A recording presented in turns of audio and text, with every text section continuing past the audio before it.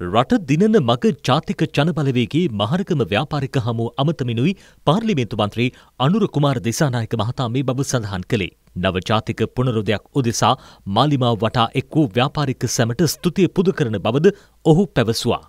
සැප්තැම්බර් මාසේ 21 වෙනිදාට ඡන්දය දින තීන්දුව කරලා තිබෙනවා. හැබැයි මේක මේ රටේ ජනතාවට එන පළමු ඡන්දෙ නෙවෙයි. ආණ්ඩු හදන්න ඡන්ද පාවිච්චි කරලා තිබෙනවා.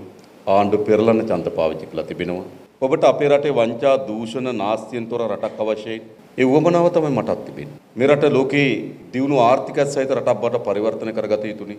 ඒ නිසා ජාතික ජනබලවේගයේ ආණ්ඩුව යනු ඔබගේ උවමනාවත් ආණ්ඩුවේ උවමනාවත් එකට සමපාත වෙන ආණ්ඩුවක්. මීට කලින් ජාතික ජනබලවේගයේ අපි ගැන තිබුණු චෝදනාව තමයි සිට තුනයි කොහොමද ඔයගොල්ලෝ ආණ්ඩුවක් හදන්නේ. හැබැයි දැන් ඒක වැඩි කතා බහට ලක් වෙන්නේ නැහැ.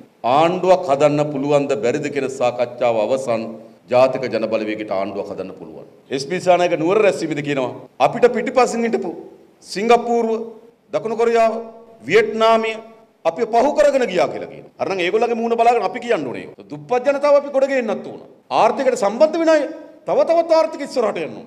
ඔබ ආර්ථික ඉස්සරහට ගියොත් විතරයි භාණ්ඩාගාරයට රුපියල් හම්බ වෙන්නේ. ඔබේ ආර්ථිකය කඩා වැටුනොත් භාණ්ඩාගාරයට රුපියල් හම්බ වෙන්නේ නැහැ. මොකද අපි ගිහිල්ලා මොනව කරන්නද? අපේ සැලැස්මම මේ පෞද්ගලික අංශයේ කර්මාන්ත උම්මාදයක් හදන්න සුළු මධ්‍යප්‍රදේශ ව්‍යවසායක උම්මාදයක් හදන්න ඕන අපේ රටේ. මොකද මේක තමයි අපේ එන්ජින් එක.